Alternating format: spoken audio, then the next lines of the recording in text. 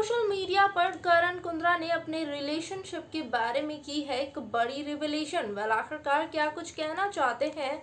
इस पोस्ट के थ्रू, इस स्टोरी के थ्रू करण कुंद्रा अपने रिलेशनशिप को लेकर, क्या है पूरी अपडेट क्या है पूरी खबर, हम बताएँगे आपको इस वीडियो में। नमस्कार मैं सृष्टि आप सबका स्वागत करती हूँ हमारे यूट्यूब चैनल पर। अगर आपने मुझे अब तक इंस्टाग्राम पर फॉलो नहीं किया है तो ज़रूर कीजिए, मंडल सृष्टि के नाम से मौजूद हूँ।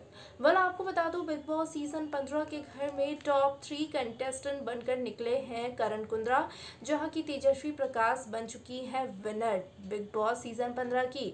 वेल इसके बाद बाद लगातार हर एक कंटेस्टेंट अपने सोशल मीडिया अकाउंट पर काफ़ी ज़्यादा एक्टिव है और काफ़ी ज़्यादा ट्वीट्स पोस्ट लगातार हुए जा रहे हैं। और इसी बीच करण कुंद्रा ने अपने इंस्टाग्राम स्टोरी पर एक कोट्स लगाया है, जिससे कहीं ना कहीं ये दावा किया जा रहा है जिससे कहीं ना कहीं ये कनेक्ट किया जा रहा है कि वो तेजस्वी प्रकाश को लेकर ही वो कोट्स किया गया है। क्या कुछ लिखा है उस कोट्स में? चलिए हम आपको बताते हैं। वेल well, उस स्टोरी में लिखा है I have loved you on days when I haven't loved myself and I think that's precisely where the problem begins it means कि इस पोस्ट के अकॉर्डिंग करण कुंद्रा कहीं ना कहीं ये कहना चाह रहे हैं कि मैंने तुम्हें उस दिन से प्यार करना शुरू किया जब मैं खुद से भी प्यार नहीं करता था और असली प्रॉब्लम जो है यहीं से शुरू हुई और असली प्रॉब्लम की शुरुआत जो है यहीं से हुई।